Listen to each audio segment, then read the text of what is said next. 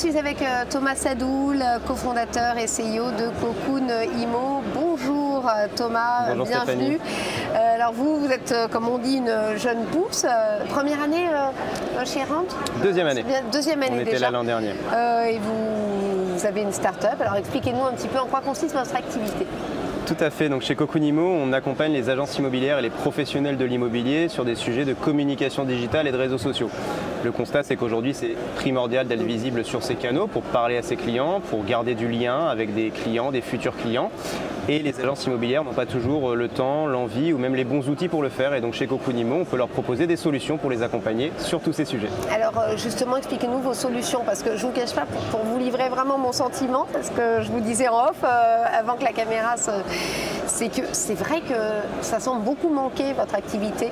Euh, très peu d'agences euh, travaillent avec des moyens modernes euh, de réseaux sociaux, etc. c'est très porteur et comment vous expliquez que ça soit venu aussi tard sur le marché? Alors je pense que l'immobilier en effet peut avoir peut-être un tout petit peu de retard par rapport à d'autres marchés. Je pense à l'hôtellerie, la restauration qui utilisent déjà beaucoup plus les réseaux sociaux pour communiquer auprès de mm. leurs clients, se faire voir, créer une image de marque. Mais les choses bougent quand même et nous on le voit du coup depuis qu'on travaille chez Cocunimo sur ces sujets. Ça fait à peu près 4 ans maintenant qu'on travaille sur tout ça on se rend compte que les choses bougent et on essaie en tout cas de les faire bouger avec nos clients avec plusieurs offres, plusieurs possibilités.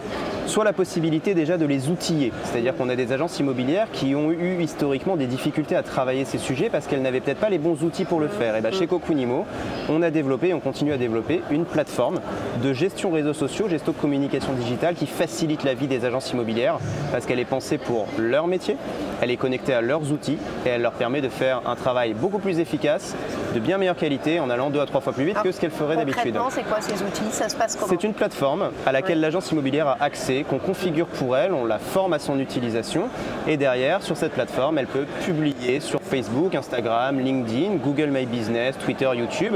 Elle peut mettre en avant ses mandats grâce à une, connexion avec son logiciel immobilier. Elle peut faire des publications sur tous les sujets qu'elle le souhaite. On est là aussi pour nous lui suggérer des publications. Nos équipes créent du contenu à la disposition des agences. Et puis pardon, ça c'était notre première offre. Et si l'agence n'a pas le temps ou n'a pas l'envie de faire ça, chez Cocoon, on a aussi des équipes de chefs de projet qui peuvent tout simplement prendre en main ces sujets.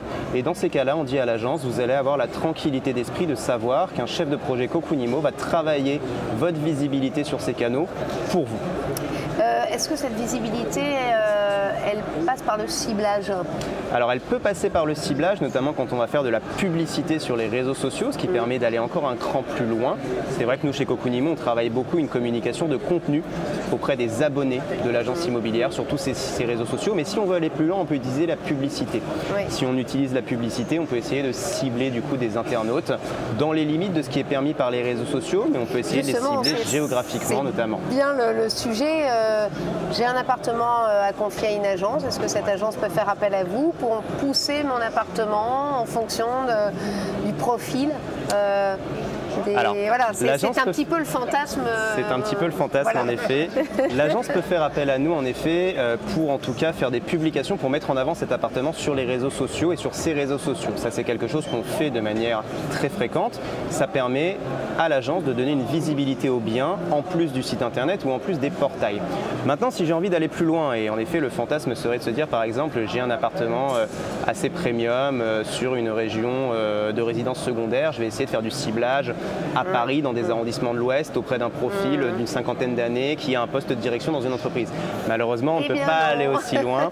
Pourquoi? Parce qu'en fait, il y a des règles tout simplement de publicité, notamment des règles anti-discrimination sur la plupart des réseaux sociaux. Les GAFA euh, voilà. Euh, protègent peut-être leur précarité. Mais on, peut quand même faire des choses et on peut au moins en tout cas pousser ces, mmh. appartements, ces mandats notamment auprès de sa communauté. C'est-à-dire que mmh. si on était en mesure de développer une communauté qui nous suit, qui nous connaît, qu'on a fidélisé, auprès de ces gens-là, on peut mettre en avant cette annonce, tout comme on peut mettre en avant euh, ses avis clients, faire des portraits de ses collaborateurs, travailler toute cette communication qui permettra qu'on nous connaisse, qu'on nous reconnaisse et qu'on ait envie de faire appel à nous demain. Ça a été fructueux ce salon pour vous? Vous êtes euh, content? Parce qu'on arrive bientôt à la fin Exactement, c'est vrai que ça, touche à sa fin. Le salon a été très fructueux cette année encore. Nous, on est ravis de voir que les sujets communication digitale et réseaux, sociaux pardon, sont des choses qui parlent aux agences plus que jamais. Je pense qu'on en parle beaucoup, hein, mais l'ère post-Covid, où on s'est rendu compte que les gens avec quand même énormément le nez sur leur téléphone et un petit peu moins dans la rue.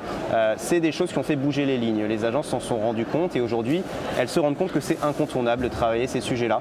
Donc un salon Rennes sur lequel on a été ravis de pouvoir aller à nouveau à la rencontre de mm. toutes ces agences, puis de nos clients aussi, de nos partenaires qu'on a pu voir sur le salon. C'est toujours un plaisir et c'est toujours un bel événement. On va vous laisser aller euh, les voir encore et, terminer cette journée. Merci, Merci à vous, beaucoup. Merci. Merci.